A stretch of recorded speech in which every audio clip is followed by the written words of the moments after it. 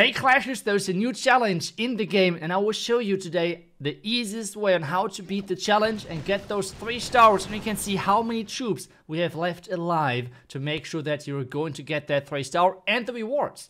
And if you're buying anything from the in-game shop and liking the videos on this channel and you would like to support the channel, make sure to use creator code ITZU when buying anything from the in-game shop like Gold Pass or any offers.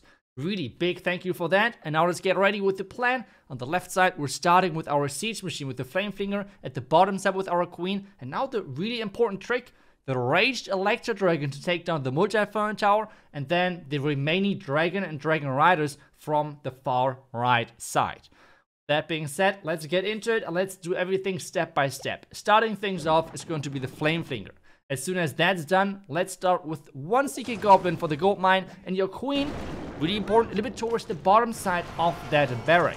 With the healers right behind, you now have to wait to play the first rage. Important, wait for this arch tower to go down. Wait until that and then place that rage and play a second rage with the Electro Dragon onto the Elixir Collector. Important, Electro Dragon at the 6 o'clock side of the Elixir, uh, of the Elixir Collector. Now we have our Coco going in there, and as soon as this air defense is down, you're playing one wall breaker. Important, just keep your queen raged up, poison the defending clan council, and you are going to be fine. Yes, the monolith is going to deal a lot of damage, but you are fine with your rage. The next thing what you're going to do is, as soon as your queen is hitting that town hall, place an invisibility spell onto your queen and onto your healers, and just rage up that queen again.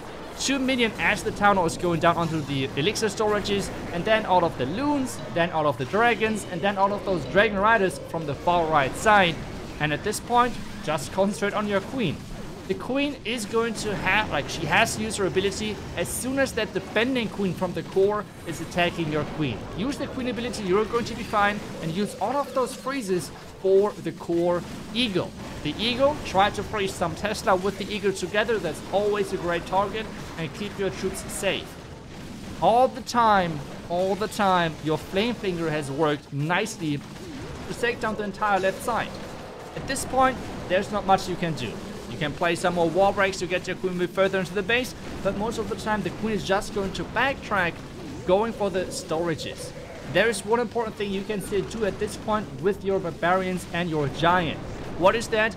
There is some uh, royal ghost traps on the outside which you can use with or you can trigger with those barbarians. Use the poison to try to make sure that there is as much damage on those royal ghosts. They don't have that many hit points.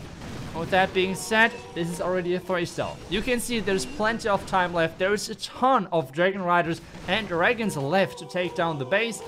And with that, it's a super easy 3 star. I hope this approach was helpful for you to complete the challenge. Was one of the harder challenges to be honest, but I think with this guide you got this done really easily. Thank you so much for watching and make sure to follow this channel if you always want to be up to date with any Clash content out there. Thank you so much for watching. I will see you guys back tomorrow with the next Clash video. Until then, see ya and bye bye.